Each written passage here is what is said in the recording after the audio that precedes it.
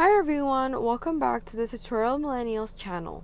In this video, I'll be showing you how to edit product images on Canva. So firstly, just open the Canva app and create a blank page. It doesn't matter the size as long as it fits your product image. Then just add your uploaded product image. I'm going to be picking this image of a breathing device that I just took a picture of.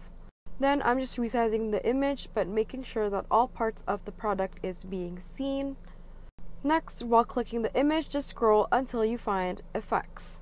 Then you need Canva Pro for this, but if you have it, just press BG Remover which will remove the background of the image. This will just clean up the look of your product image and once it's done, you will just be left with the image of the product without the background.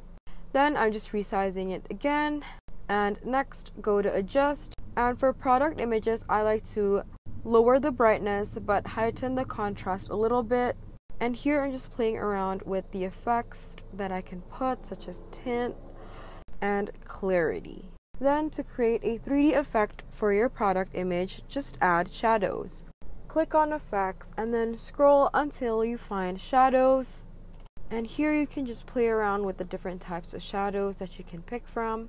As you can see, there is angle, curved, page lift. I'm just going to be picking curved. And if I press on it again, I can adjust the angle of the curve as well as the transparency. And once you're done, you just want to go ahead and press the download symbol at the top right hand corner of your screen. And then just press download as PNG. And if you have Canva Pro, you can download it with the transparent background. And you're all done. Now you have created a image product that you can advertise just by editing it through Canva. So this is the final product. That's all I have for you today. Thank you so much for watching this video. Don't forget to like, share, and subscribe. And leave any of your questions in the comment section down below and I will happily answer them. Thanks for watching. Bye!